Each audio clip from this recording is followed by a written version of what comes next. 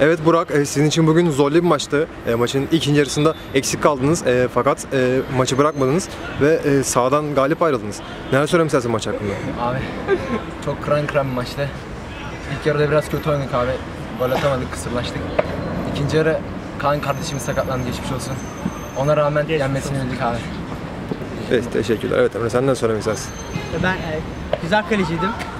Oyuna gelince de güzel defanslık yaptım. Ama Kaan arkadaş çıkınca da daha çok bastırdık. Defansa döndük.